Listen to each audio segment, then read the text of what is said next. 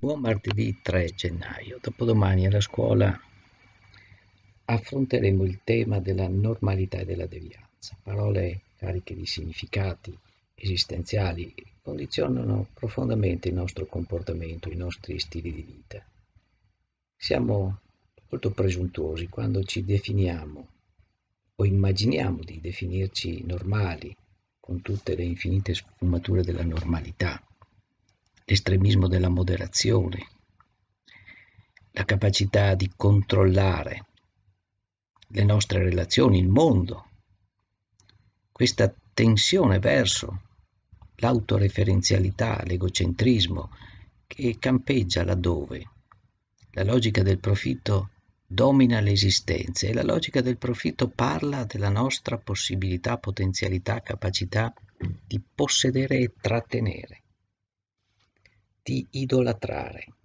Il nostro modo di pensare, siamo quasi destinati per ragioni culturali ad assecondare una cultura nella quale noi ci sentiamo creatori e dominatori dell'universo, una sorta di una molteplicità di piccole divinità, le quali guardano con ammirazione le grandi divinità, i potentati della terra, che oggi serpeggiano nei social, attraverso le immagini.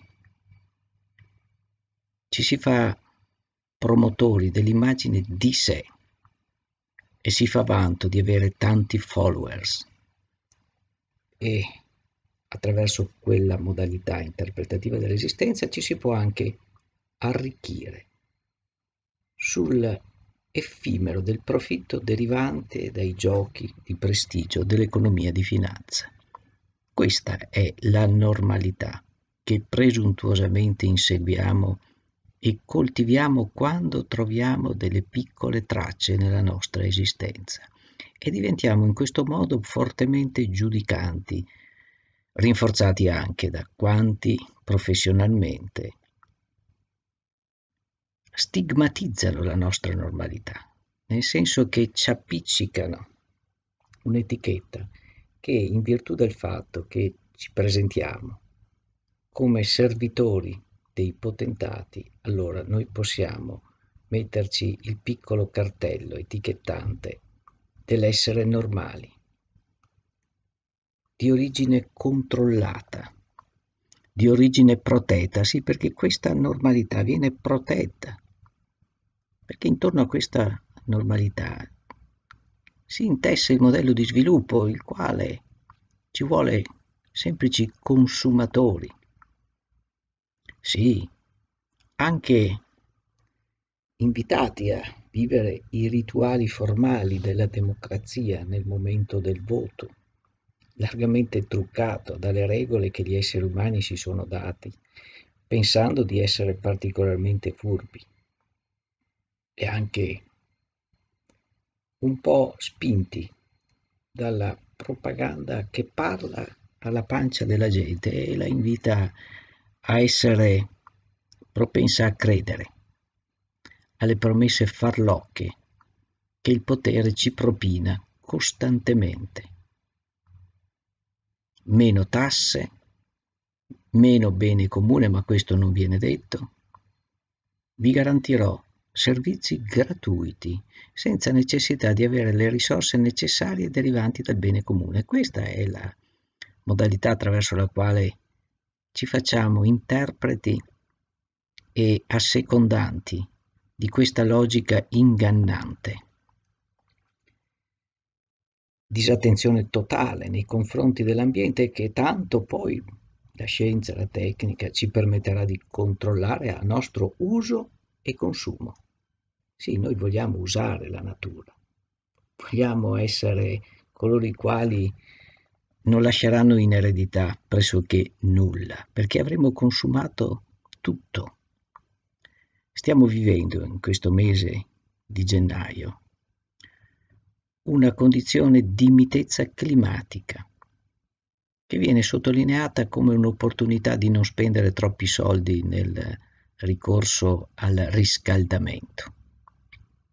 Ecco che allora quel gioco economico-finanziario di speculazione intorno al valore attribuito alle fonti di produzione e vendita dell'energia, quella speculazione immonda, viene meno, continua però, e attenzione, e attraverso un imbroglio molto astuto, molto diabolico, divisivo, si fa sì che si possa anche credere quello che Donald Trump disse in una campagna elettorale, durante la campagna elettorale. Cosa importa che il cambiamento climatico elevi di qualche grado la temperatura su questa Terra? Intanto ci metterà un sacco di tempo, quindi non ci riguarderà direttamente personalmente, ma avremo garantito anche la possibilità di eterne primavere. Spenderemo meno e ci faremo protagonisti del dominio sulla natura, senza tenere in alcun conto il fatto che larghe parti del pianeta si stanno desertificando, spariscono specie animali, vegetali. Il livello del mare si alza, ma non sufficientemente per allarmarci. Ecco che allora quanti sottolineano attraverso l'analisi scientifica ciò che sta accadendo vengono annoverati tra le Cassandre e i catastrofisti.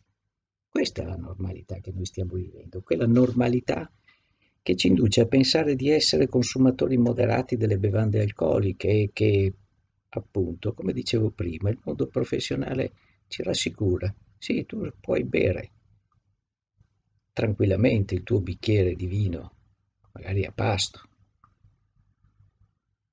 ma quell'altro no, perché lui è un alcolista e quindi operando nella distinzione di etichettamenti, bevitori moderati da una parte e alcolisti dall'altra, faccio il gioco dell'industria produttrice della catena, della filiera di coltivazione del vitigno, della sua trasformazione in vino o altre modalità attraverso le quali si producono distillati, birra, poi la raffinata produzione, la catena di distribuzione, vendita e di pubblicità che ci parla di mirabolanti condizioni esistenziali derivanti dal fatto che consumando bevande alcoliche possiamo vivere intensamente una sensazione rassicurante di potenza, di slatentizzazione della parte erotica e sessuale della nostra esistenza, della percezione estetizzante del nostro volto riflesso allo specchio o nell'incontro con l'altro, che immaginiamo essere molto più bello di quanto in realtà sia. In fondo, nessuno di noi alla fine è un granché, anche dal punto di vista estetico, perché destinato all'usura del tempo. Deve essere stato un bell'uomo, deve essere stata una bella donna, si vede da qualche tratto contemporaneamente, stai dicendo che non è più ciò che era. E noi viviamo in questa costante tensione estetizzante, questa idolatria dei corpi che abitiamo, che ci impedisce di vivere, ma anche in questo caso distribuiamo gli etichettamenti. Da una parte la malattia dell'anoressia della bulimia, dall'altra il culto del proprio corpo che deve essere conforme ad alcuni parametri che pensiamo di avere inventato noi, in realtà li abbiamo assorbiti dalla cultura esistente, una certa altezza, una certa modalità delle armonie delle forme, capelli, gli occhi non hanno mai un colore sufficientemente aggradante. Non ci aggrada il colore dei, degli occhi. Immaginiamo, ripristinando forse una mitologia ariana, di avere occhi azzurri, capelli biondi. Queste sono una delle mitologie, ma ci sono anche altre naturalmente che guardano alla, a forme dei corpi, colore degli occhi e i capelli, che sono esattamente l'opposto, ma sempre all'insegna dell'idolatria, idolatria dei corpi, che arricchisce il campo della cosmesi. Noi che possiamo permetterci di vivere il privilegio dei luoghi che abitiamo, con grande disponibilità di cibo, stiamo lì a giocare con il cibo, mentre altri il cibo non ce l'hanno neanche per i propri bambini. Ogni minuto muoiono bambini di fame, ma non troverete rilevanza sugli organi di informazione di massa, sui social, nessun interesse. Così come l'interesse nei confronti dell'ecologia è ampiamente sottaciuto. Accade sì quando c'è qualche disastro ambientale, le bombe d'acqua. Allora ci si allarma, ma non più di uno o due giorni. Catastrofi idrogeologiche, ci si allarma, ma non più di uno o due giorni. Costantemente però siamo ossessionati dal mantenimento e conservazione del nostro stile di vita e del nostro comportamento. Questa è la normalità. Dall'altra parte c'è la devianza, altro aspetto che dobbiamo approfondire e che ci riporta inevitabilmente a riconsiderare quel testo che qualche mese fa ho letto in alcune parti, non ho ancora finito di leggerlo, ma a mio parere dobbiamo assolutamente riprenderlo, soprattutto nel laboratorio, testo di approfondimento, la maggioranza deviante. È una associazione di parole, maggioranza e deviante. Siamo tutti sostanzialmente dei devianti etichettati come normali schiavi sostanzialmente, sì, addicted. Le metafore dell'uso delle droghe psicoattive e in particolare dell'alcol etilico ci insegnano a reinterpretare l'esistenza umana andando alla radice di quell'idea di controllo unilaterale sulla realtà che ci forgia all'idea di essere creatori e non creature. Liberati sì in gran parte dalle leggi di natura, ma allo stesso tempo essendo natura con tutte le sue leggi. Una grande contraddizione che fa i conti con il fatto che noi evolutivamente siamo stati arricchiti da una coscienza etica, morale, la consapevolezza del nostro agire, che rende la nostra vita anche particolarmente difficile. Molto spesso la coscienza ci turba profondamente, è un perturbante della nostra esistenza, non ci permette di essere sufficientemente liberi come vorremmo essere perché noi abbiamo interpretato la libertà come la possibilità di fare quello che vogliamo, indipendentemente dalle relazioni che creiamo nei nostri contesti esistenziali, di vita e di lavoro. Sì, liberi, liberi di fare quello che ci passa per la mente, liberi, non assoggettati e contemporaneamente accettiamo un assoggettamento che proprio in nome della libertà liberista ci consegna a essere dei consumatori disattenti nei confronti di quella coscienza morale che ci dovrebbe portare a una costante ponderazione del nostro agire. E in questo noi diventiamo largamente dei devianti rispetto all'equilibrio con nostra madre terra, con il pianeta. L'alcolismo, le tossicodipendenze, gli stati mentali che si chiudono in se stessi nelle condizioni definite psicotiche, paranoiche, bipolari, quando vi è una alternanza devastante dell'umore, verso il basso verso l'alto, senza alcun equilibrio, uno squilibrio costante, ma questo squilibrio è la traccia e dobbiamo scoprire di questa normalità che è deviante rispetto agli obblighi che dovremmo assumerci in termini etici e morali quando scopriamo di vivere in un contesto che è inevitabilmente ecologico, sociale perché noi siamo animali sociali, tutto il vivente sul pianeta è sociale.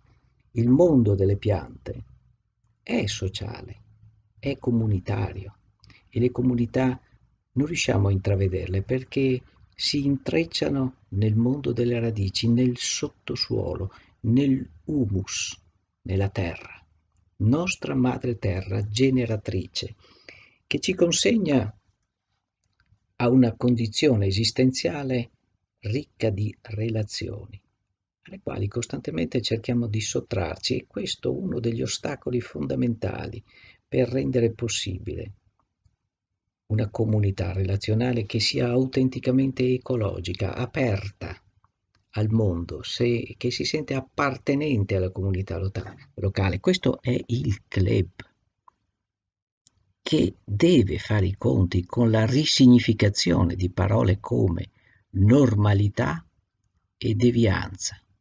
È un tema che ha caratterizzato l'intera storia dell'umanità, che traccia la sua presenza nella sapienzialità antica. Pensate alle tragedie greche, a questa sfida costante nei confronti dell'equilibrio cosmico rappresentato dall'Olimpo, dalle divinità, intorno alle quali poi si intessono altre forme di lotta intrinseca tra le divinità.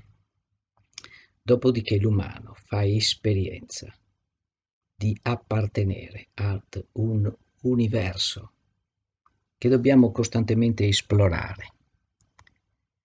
E questo universo è quella entità che ci trascende e che noi cerchiamo sempre di tradurre in termini antropomorfi fino al punto di autorappresentarci come divinità.